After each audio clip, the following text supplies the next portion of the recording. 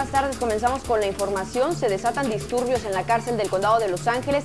Una pelea que involucró a por lo menos 80 prisioneros entre latinos y afroamericanos dejó a varias personas heridas.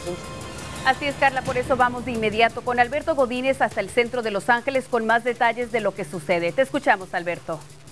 Gracias y buenas tardes. A esta hora de la tarde todo está bajo control. Sin embargo, no era así a las 12 del día, ya que dos personas, dos prisioneros, empezaron una lucha campal donde 80 personas se vieron involucrados. Cuatro de ellos fueron heridos y fueron trasladados a los hospitales del área. Con nosotros se encuentra la señora Marta Gómez. Ella tiene un familiar dentro. ¿Cómo se siente, señora? Pues yo me siento muy mal, le digo, porque por todo protestamos, por todo hacemos campañas, hacemos todo, pero no hacemos nada por los que están aquí adentro inocentemente. ¿Qué le, qué le dijeron, qué le dijeron los, las personas, los, los, los, gendarmes, los que cuidan a, a, los prisioneros? Dijeron que ellos no pueden dar información de nada ahorita porque todo no estaba bajo control todavía.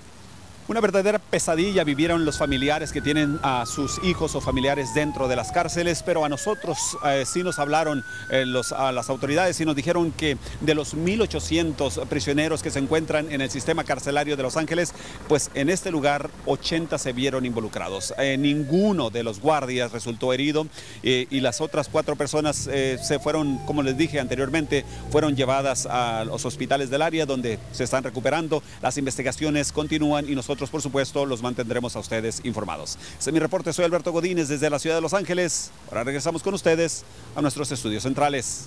Claro que sí, gracias Alberto por tu información.